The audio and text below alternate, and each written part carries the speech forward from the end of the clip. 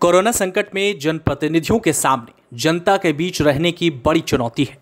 Social media का जमाना है ऐसे में जहाँ तहां नेताजी के सवालों की बौछार करने वालों की भी कमी नहीं रहती। ऐसे में लॉकडाउन के बढ़ते तारीख ने मजबूरन जनप्रतिनिधियों को क्षेत्र में जाने के लिए मजबूर कर दिया है। लेकिन दरभंगा ज़िले से एक ऐसी खबर सामने आई है जो हैरान करने वाली है। मामला दरभंगा ज़िले के अलीनगर विधानसभा क्षेत्र का है। जहाँ एक वीडियो सोशल मीडिया पर तेज़ी से वायरल हो रहा है।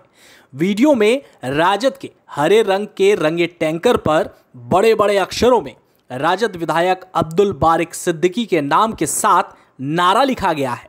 सिद्दीकी ने ठाना है नोवल कोरोना कोविड को हराना है।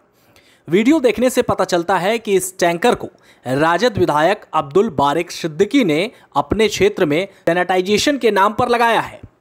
विधानसभा क्षेत्र को सैनिटाइज करने निकले विधायक जी के इस टैंकर को तैमूल ग्राम पंचायत के लोगों ने जब रोक कर जाँच पड़ताल की तो विधायक जी की पोल पट्टी खुल गई। जब ड्राइवर से पूछा गया कि वो किस काम के लिए ये टैंकर लेकर निकला है तो ड्राइवर ने विधानसभा क्षेत्र में सैनिटाइजेशन की बात कही। लेकिन टैंकर के टायरों में कीचड़ लगा देख लोगों को शक हुआ। तो टैंकर में सैनिटाइज के लिए इस्तेमाल की जा रही घोल को बाल्टी से निकाला गया। तो पता चला कि टैंक में पानी भरा हुआ है, जिसका वीडियो लोगों ने बना लिया।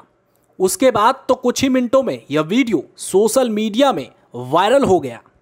हालाँकि इस वीडियो के वायरल होने के बाद राजद विधायक अब्दुल बारिक सिद्दीकी ने कहा है कि यह मुझे बदनाम करने की विरोधियों की साजिश है। वहीं अलीनगर के बीजेपी नेता नवीन चौधरी ने इस मामले में सिद्दीकी को आड़े हाथ लिया है। नवीन चौधरी ने भी इस वीडियो को सोशल मीडिया में पोस्ट किया है। साथ ही लिखा है कि टैंकर में पोखर का पानी भरकर विधानसभा को सैनिटाइज करने की कला सिद्दीकी जी कहाँ से लाए हैं, पता नहीं। सिद्दीकी जी जनता को मूर्ख समझते हैं। जनता जागरूक है, वह सब समझती है। Bureau report, the H news.